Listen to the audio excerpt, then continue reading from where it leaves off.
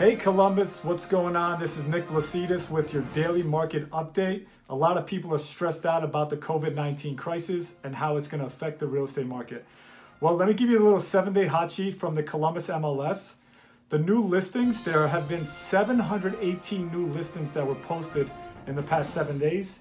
How many new contracts? How, meaning contingent finance inspection, contingent escape, pendings. There are a total of 824 of in contracts uh, in um, past seven days. New closings, there are actually 567 new closings. Hey, the past 24 hours, let's take a look at that. Well, the past 24 hours have been great. There have been 139 new contracts, meaning again, contingent finance inspections, contingent escapes, uh, pendings, and uh, new closings, 82 new closings in the past 24 hours in the Columbus, Central Ohio market. And these are facts and statistics from the Columbus MLS. If you guys need to know anything else, give me a call at 614 562 2539. Again, 614 562 2539.